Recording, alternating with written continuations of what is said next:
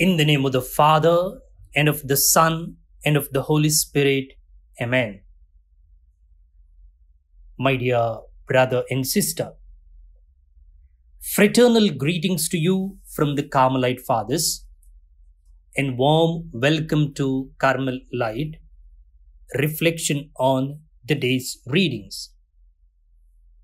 It's the 5th of April, Monday of the Easter octave. And today we remember Saint Vincent Ferrer, a priest, about whom Larissa now will give us more details. Roman Catholics celebrate the missionary efforts of Saint Vincent Ferrer on April 5th. The Dominican preacher brought thousands of Europeans into the Catholic Church during a period of political and spiritual crisis in Western Europe. Vincent Ferrer was born in Valencia, Spain during 1357. His parents raised him to care deeply about his religious duties without neglecting his education or concern for the poor. One of his siblings, Boniface, later joined the Carthusian order and became its superior general. Vincent, however, would become a Dominican and preach the gospel throughout Europe. He joined at age 18 in 1374. As a member of the Dominican order of preachers, Vincent committed much of the Bible to memory while also studying the church fathers and philosophy. By age 28, he was renowned for his preaching and also known to have a gift of prophecy. Five years later, a representative of Pope Clement VII chose Vincent to accompany him to France, where he preached extensively. While Vincent sought to live out his order's commitment to the preaching of the gospel, he could not escape becoming involved in the political intrigues of the day. Two rival claimants to the papacy emerged during the late 1300s, one in Rome and another in the French city of Avignon. Each claimed the allegiance of roughly half of Western Europe. Caught between the rival claimants, Vincent attempted to persuade the Avignon Pope Benedict XIII to negotiate an end to the schism.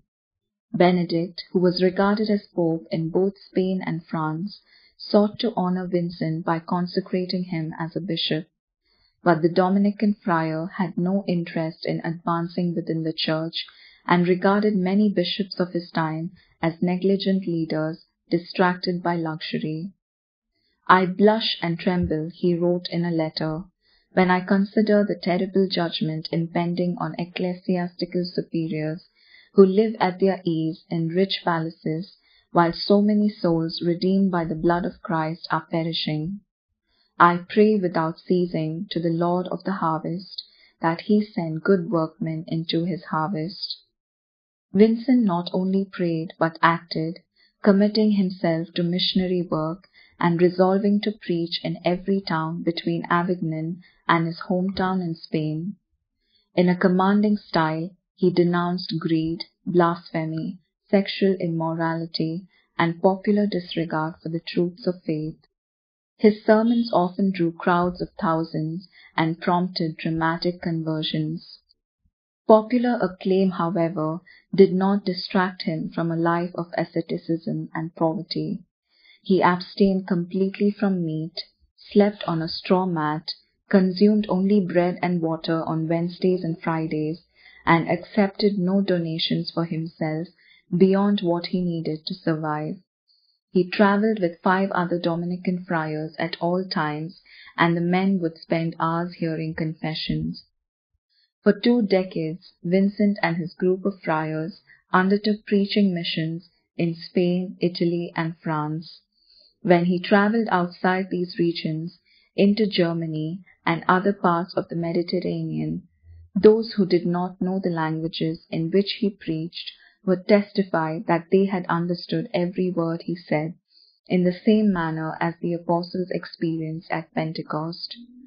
Although he did not heal the temporary divisions within the church, Vincent succeeded in strengthening large numbers of Europeans in their Catholic faith. He wrote little, although some of his works have survived and exist in modern English translations. St. Vincent Ferrer died on April 5, 1419, at age 62, in the city of Vannes in the French region of Brittany. He was canonized in 1455 and has more recently become the namesake of a traditional Catholic community approved by the Holy See, the Fraternity of St. Vincent Ferrer. Placing all our petitions before Him today, let us pray. O God, who did vouch to glorify the Church by the merits and preaching of St. Vincent Ferrer, thy confessor, grant us, thy servants, that we may be taught by his example and be delivered by his patronage from all adversities. We ask this through Christ our Lord. Amen. My dear brother and sister, for our reflection today, we have chosen the first reading taken from the Acts of the Apostles. You must remember, in this Easter season, we will have the readings from the Acts of the Apostles in the first reading. And today we have chapter 2, verses 14, then 22 to 23. A reading from the Acts of the Apostles. On the day of Pentecost, Peter, standing with the eleven, lifted up his voice and addressed them Men of Judea, and all who dwell in Jerusalem, let this be known to you, and give ear to my words. Men of Israel, Hear these words Jesus of Nazareth, a man attested to you by God with mighty works and wonders and signs that God did through him in your midst, as you yourselves know. This Jesus, delivered up according to the definite plan and foreknowledge of God, you crucified and killed by the hands of lawless men. God raised him up, losing the pangs of death, because it was not possible for him to be held by it. For David says concerning him, I saw the Lord always before me, for he is at my right hand that I may not be shaken. Therefore, my heart was glad, and my tongue rejoiced. My flesh also will dwell in hope. For you will not abandon my soul to Hades, or let your Holy One see corruption. You have made known to me the paths of life. You will make me full of gladness with your presence. Brothers, I may say to you with confidence about the patriarch David that he both died and was buried, and his tomb is with us to this day. Being therefore a prophet, and knowing that God had sworn with an oath to him that he would set one of his descendants on his throne. He fought so and spoke about the resurrection of the Christ, that he was not abandoned to Hades, nor did his flesh see corruption. This Jesus God raised up, and of that we all are witnesses. Being therefore exalted at the right hand of God, and having received from the Father the promise of the Holy Spirit, he has poured out this that you yourselves are seeing and hearing.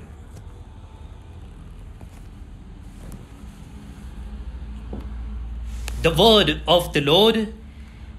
Thanks be to God.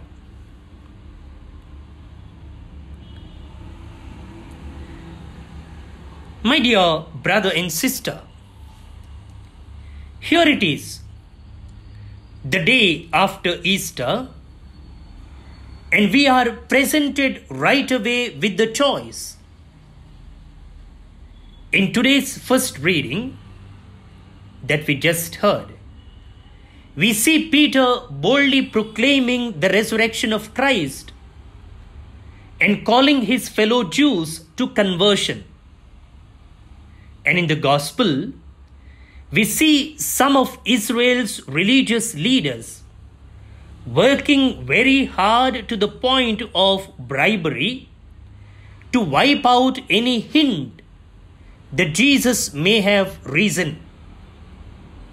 And in between the two, we have the guards at the tomb, everyday men with families who were just trying to survive and who did not seem to care one way or the other what happened to Jesus.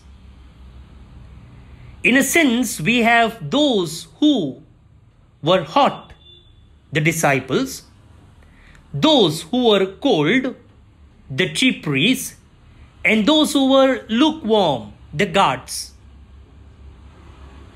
Which word describes you?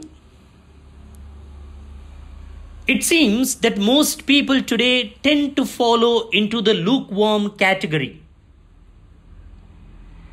There aren't all that many militant atheists out there who are completely cold to the things of God.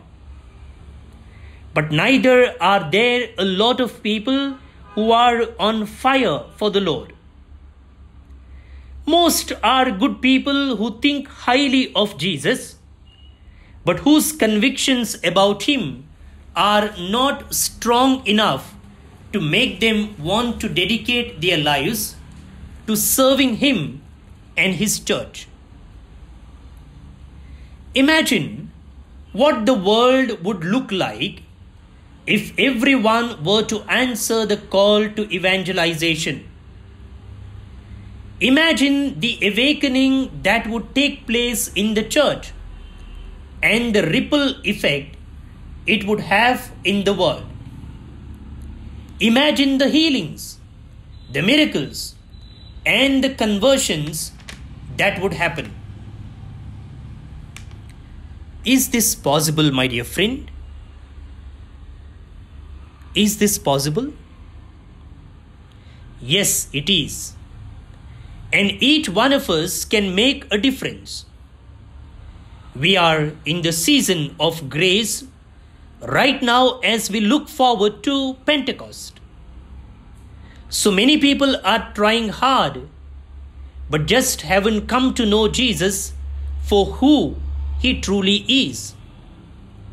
So many are waiting to hear the good news.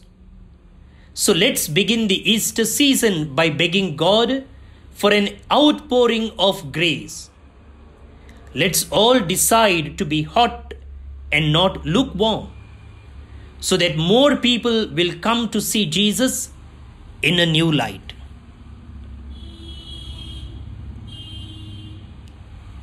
Let us pray. Holy Spirit, set our hearts on fire to spread the gospel to the world. Amen.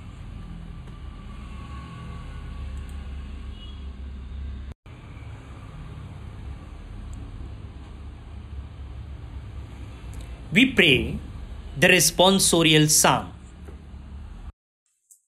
Your response Preserve me, O God, for in you I take refuge. Preserve me, O God, for in you I take refuge. Preserve me, O God, for in you I take refuge. I say to the Lord, You are my Lord. O Lord, it is you who are my portion and cup, you yourself who secure my lot.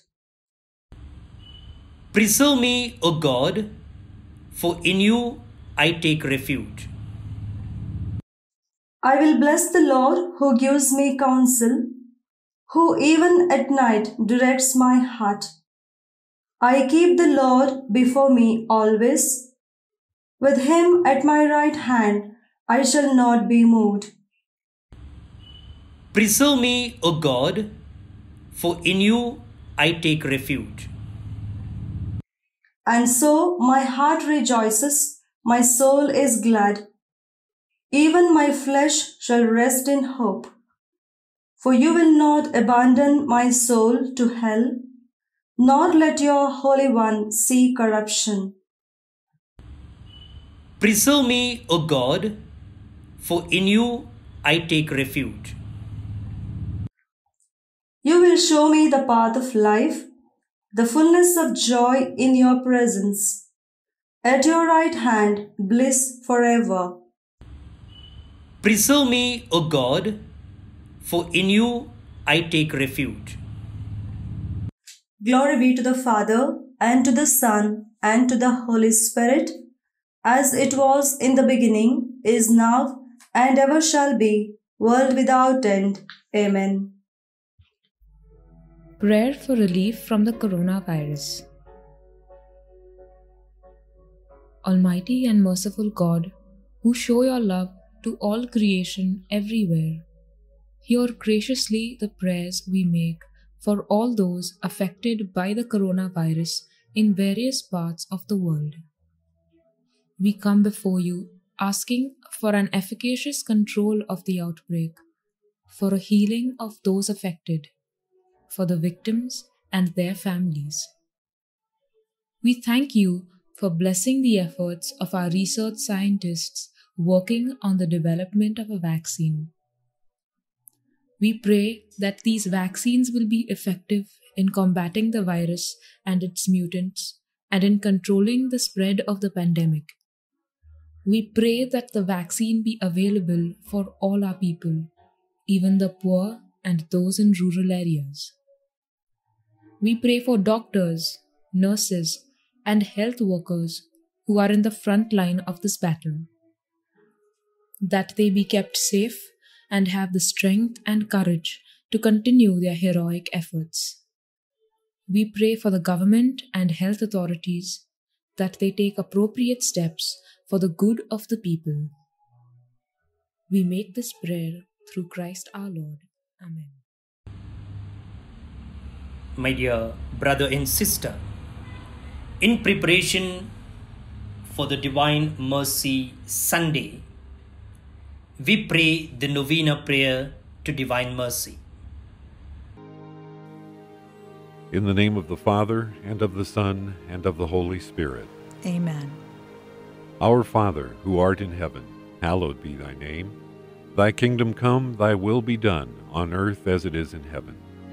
Give us this day our daily bread, and forgive us our trespasses, as we forgive those who trespass against us.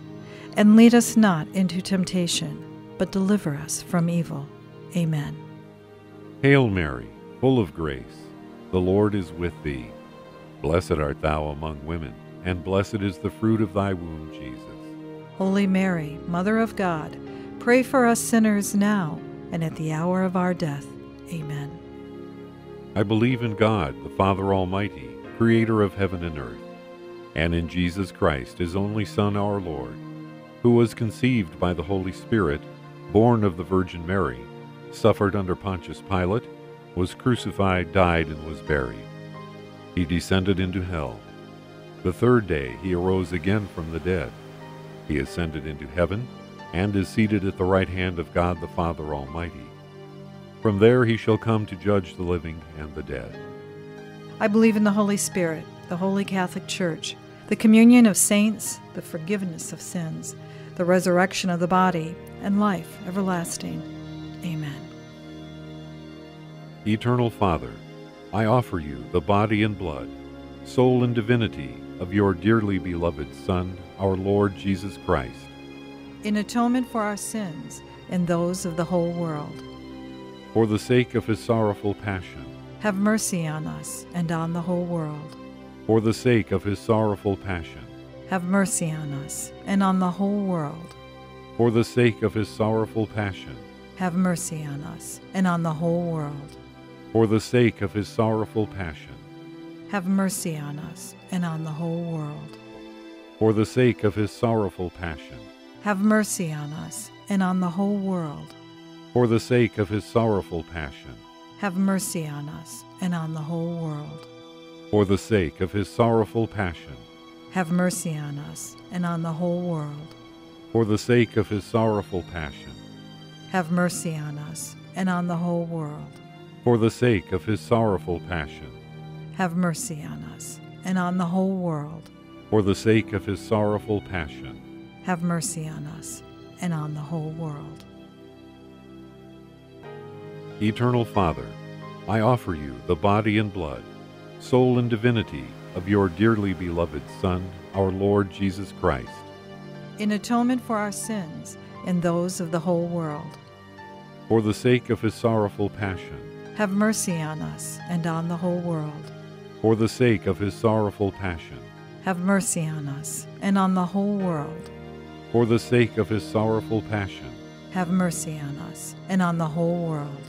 For the sake of his sorrowful passion, have mercy on us and on the whole world.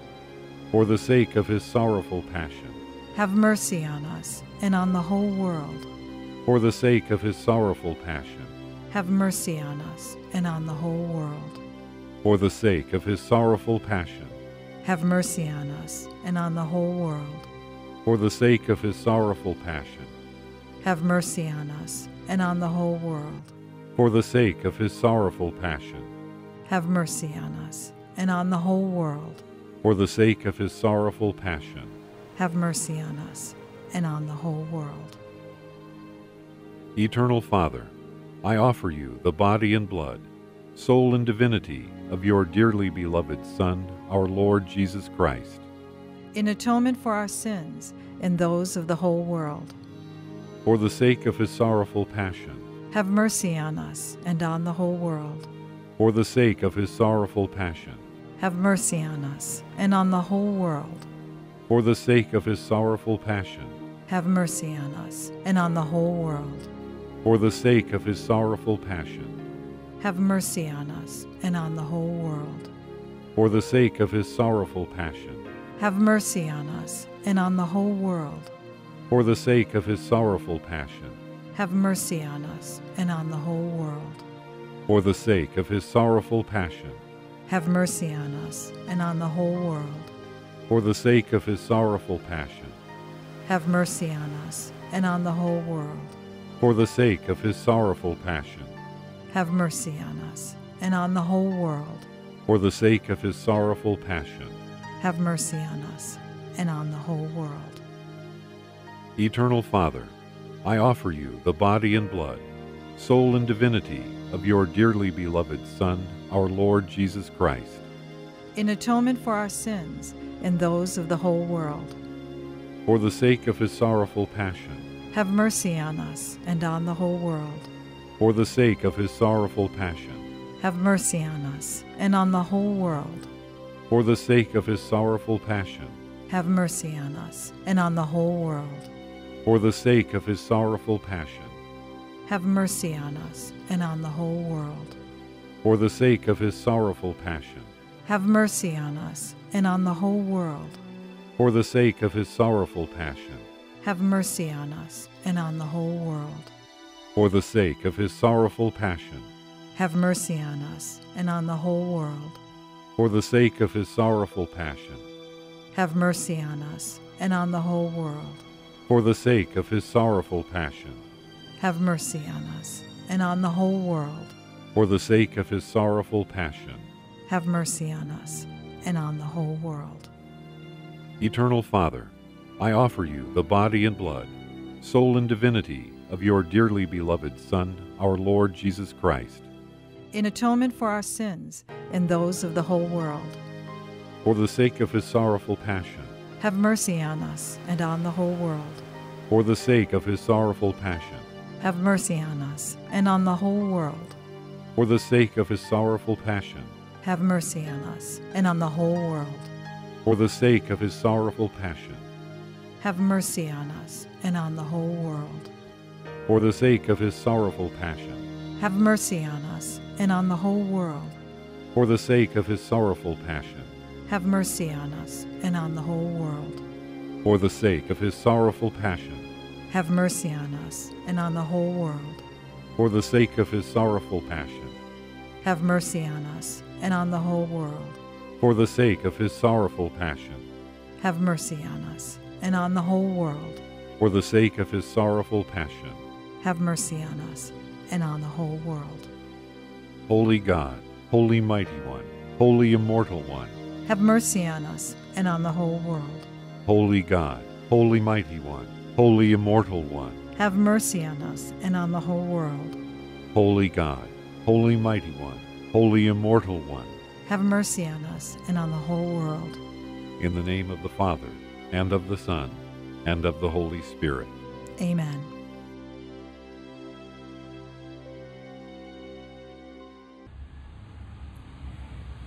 Pray for God's blessing now.